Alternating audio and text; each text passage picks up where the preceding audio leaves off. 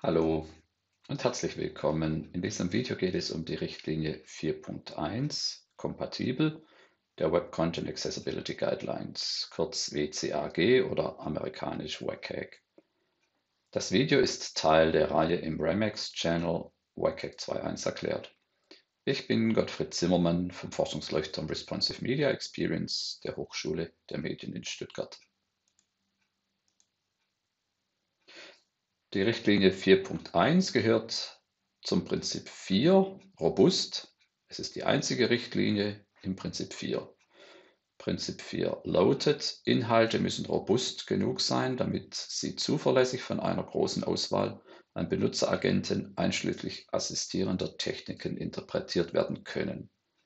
Das ist die Übersetzung von Aktion Mensch und mit assistierenden Techniken sind Hilfsmittel gemeint, also Zusatzsoftware oder Hardware, die von Menschen mit Behinderungen benutzt werden zur Eingabe an Programme oder zur Ausgabe, zum Wahrnehmen von Informationen von Webseiten oder Programmen. Und die Richtlinie 4.1 ist überschrieben mit kompatibel und lautet, maximieren Sie die Kompatibilität mit aktuellen und zukünftigen Benutzeragenten einschließlich assistierender Techniken. Benutzeragenten sind Browser oder Media Player, die eben Inhalte aus dem Web dem Benutzer abspielen und zur Verfügung stellen. Benutzergruppen, die jetzt äh, von Richtlinie 4.1 profitieren, sind insbesondere Benutzer von Hilfsmitteln, also Screenreader oder andere Hilfsmittel zur Ein- und Ausgabe, Benutzer die keine Maus benutzen, sondern nur eine Tastatur, Benutzer mit Spracheingabe, intelligente Benutzeragenten, die auf Anforderungen von Benutzer jetzt Dinge durchführen auf Webseiten, also so wie, wie man sich das auch Zukunft für Siri und andere Agenten vorstellen kann. Auch automatisches Testen von Benutzerschnittstellen wird durch diese Richtlinie vereinfacht und äh, Suchmaschinen haben es einfacher. Das Erfolgskriterium 4.1.1 ist betitelt mit Syntaxanalyse. Ein besserer Titel wäre eigentlich Wohlgeformtheit. Und es lautet, bei Inhalt, der durch die Benutzung von Auszeichnungssprache implementiert wurde, also zum Beispiel HTML ist eine Auszeichnungssprache, haben Elemente komplette Start- und End-Tags, also es geht hier darum, dass in HTML, wenn man ein Element anfängt, zum Beispiel das Element H1, dass man dann eben auch ein End-Tag dazu hat, eben slash H1. Und die Elemente werden entsprechend ihrer Spezifikation verschachtelt. Das heißt, dass es immer sauber ineinander verschachtelt sein muss. Also wenn ich jetzt ein P-Element habe und danach ein Strong-Element, dann muss ich zuerst das Strong wieder beenden und dann das P, wie bei einer russischen Puppe, einer Matroschka. Es sind keine Überkreuzverschachtelungen erlaubt und Elemente enthalten keine doppelten Attribute. Das heißt, ich darf einen, ein äh, Attribut nicht mehrfach auf dem gleichen Element verwenden. Also ich darf nicht zweimal das Attribut alt für Alternativtext vergeben, weil das wäre dann nicht klar, wenn ich den Wert von alt auslese, welchen ich meine, wenn er doppelt vorhanden ist. Und alle IDs sind einzigartig. Das heißt, ich darf das ID-Attribut nur einmal im gesamten Dokument vergeben, sodass, wenn ich eben verweise auf eine Stelle durch das ID, dass diese Stelle klar gekennzeichnet ist. Diese vier Vorgaben helfen jetzt dazu, dass äh, ein Browser eigentlich immer klar weiß, was er zu tun hat ähm, und wie er, wenn ich eine Stelle anspringen will, und wie er die entsprechende äh, Quelldatei zu parsen hat. Eigentlich bezieht sich das Erfolgskriterium eben auf das DOM also das Document Object Model, das zur Laufzeit aufgebaut wird. Aber in der Regel prüfen wir es einfach dadurch, dass wir den Quellcode uns anschauen, ob es da irgendwelche Auffälligkeiten gibt. Und ein gutes Werkzeug dazu ist der New HTML Checker, also New mit NU. Der wird vom W3C zur Verfügung gestellt. Und dort wird aber mehr geprüft als nötig. Dort wird wirklich auf Validität geprüft, ob ein Dokument auch der HTML-Spezifikation entspricht.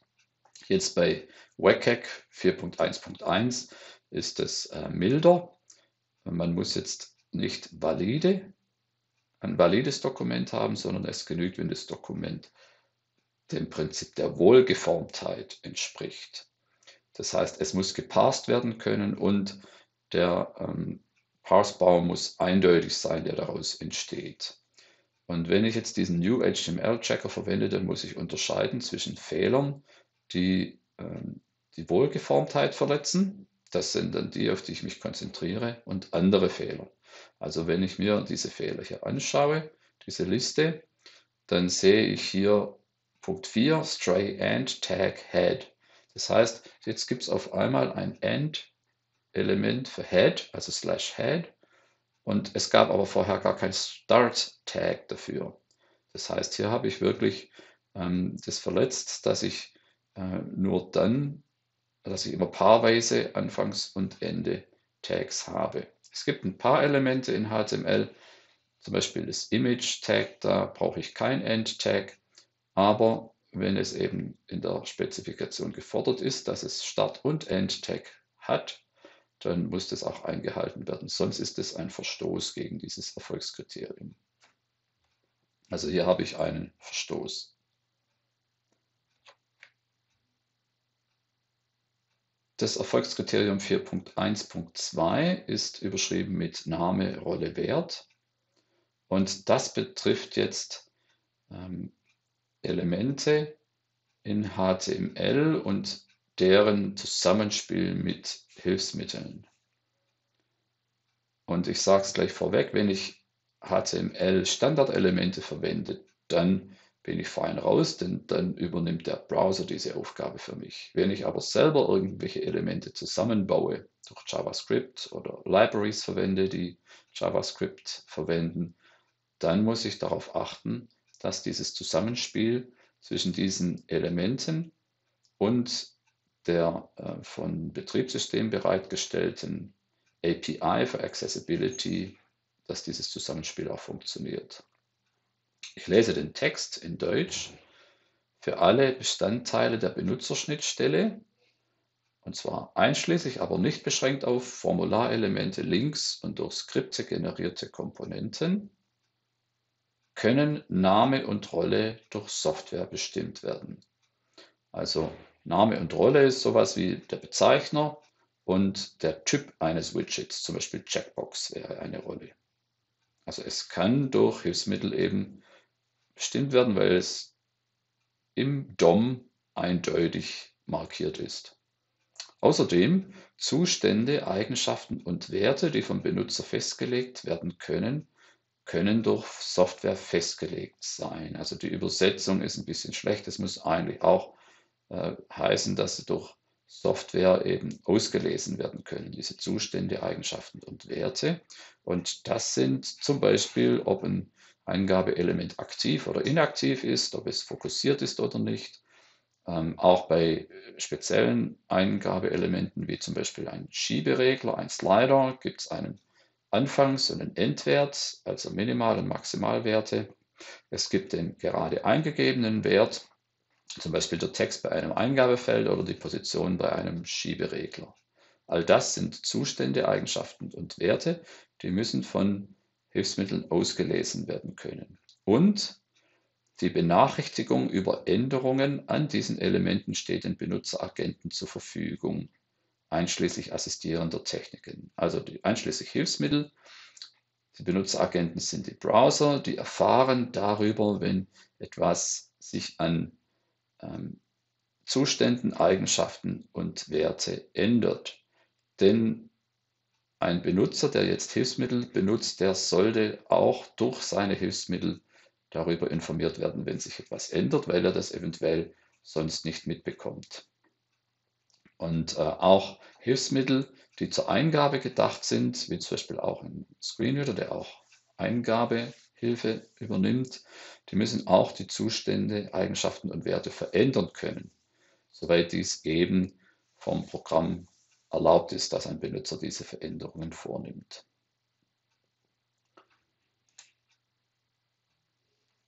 Also, wenn ich Standard-HTML-Elemente verwende, dann bin ich fein raus. Die Browser implementieren das Ganze für mich, also Name und Rolle und diese Zustände und Eigenschaften. Hier habe ich als Beispiel ein sogenanntes Mega-Menü äh, vom BMAS und äh, wenn ich hier auf einen Menüpunkt gehe, wie hier zum Beispiel Themen, dann ähm, bekomme ich eben die Einträge im Menü als Links und als Bilder vermittelt und äh, das sind Standardelemente und da funktioniert alles. Da wird zum Beispiel der Screenreader darüber informiert, dass das jetzt ein Link ist und dass man den auslösen kann. Und wenn ein Link seinen Zustand verändert, zum Beispiel, dass er besucht wurde, dann kann, wird es eben auch mitgeteilt, den Hilfsmitteln.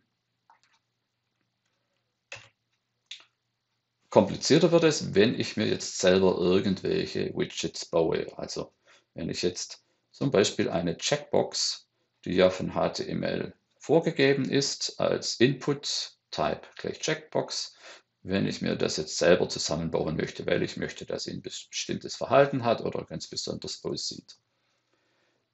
Ähm, ich erkläre jetzt zunächst mal, wie das grundsätzlich läuft das Zusammenspiel zwischen äh, Browser und der Accessibility API eines Betriebssystems und den Hilfsmitteln.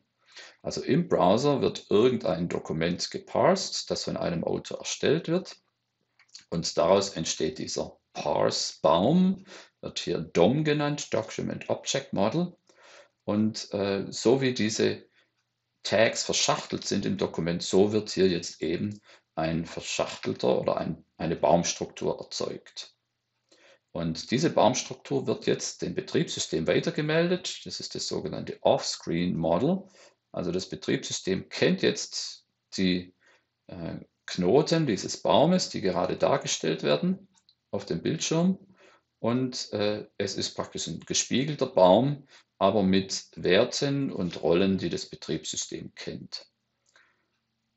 Und das Betriebssystem teilt dann den Hilfsmitteln mit, die das praktisch jetzt hier über eine API anzapfen, wie diese Information auf dem Bildschirm aufgebaut ist, mit entsprechenden Merkmalen, Rollen und so weiter. Und ein Hilfsmittel kann zum Beispiel ein Screenreader sein.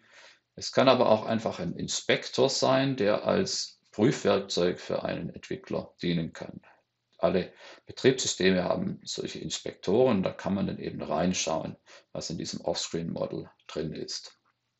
Wenn jetzt der Autor in das HTML-Dokument eigene selbstgebaute Widgets einbaut, entweder indem er sie selber codiert oder durch Bibliotheken, die er mit einschließt, dann muss er dafür sorgen, dass dieses Zusammenspiel zwischen Browser und Betriebssystem funktioniert. Und äh, ich habe als Beispiel hier eine Checkbox, die jetzt nur angedeutet über ein Skript erzeugt wird. Und ähm, diese Checkbox wird eigentlich dargestellt als diff-Element und darüber wird dann irgendwie durch CSS ein, ein Bild angezeigt. Aber dieses diff-Element hat jetzt die Rolle Checkbox und äh, das Attribut aria checked gleich false. Das heißt, anfangs ist jetzt der Zustand nicht angekreuzt. Und durch ein Skript, wenn der Benutzer jetzt äh, mit der Maus draufklickt oder mit der Tastatur eine Veränderung herbeiführt, dann wird auf einmal dieses ARIA checked zu True gesetzt. Das Ganze wird dann im DOM-Tree gespiegelt im Browser. Also es gibt dann eben diese Rolle, dieses Attribut Role gleich Checkbox wird hier abgebildet als Knoten Role und da steht dann auch Checkbox drin. Und außerdem dieser Zustand ARIA checkt auch.